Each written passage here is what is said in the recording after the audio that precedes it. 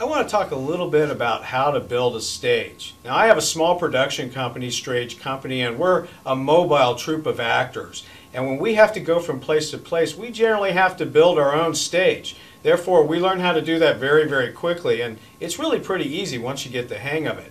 Uh, what we're going to do first is we're going to uh, lay out our idea, so we're going to have to figure out all the tools we're going to need. I'll go over that with you first. Then we're going to uh, go over the materials we're going to need to accomplish the task. Once you have all that in place, then we're going to show you how to measure this all out to be sure that before you do any actual cutting that you are measured measuring it out correctly.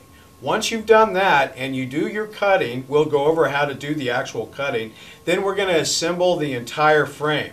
Once this frame has been assembled, uh, then you'll be able to go ahead and put on the deck. And we're going to go over exactly how to do that as well. Once we put the deck on and we screw that all in, we will in effect have created a nice platform that we can work with. Some people even just build that much and then work right on that. We're going to take it a step further though. We're going to go ahead and cut out, measure, and then cut out all the legs so that we can leg this platform and put it up about a foot.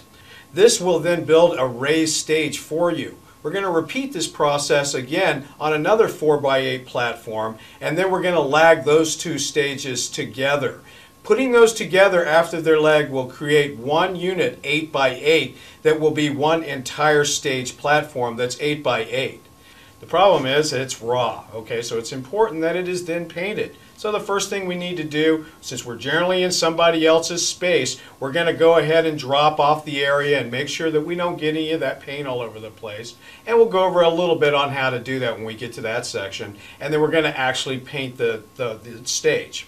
Once it's completely painted, our product is done and we have a protected, usable stage that we can use over and over again.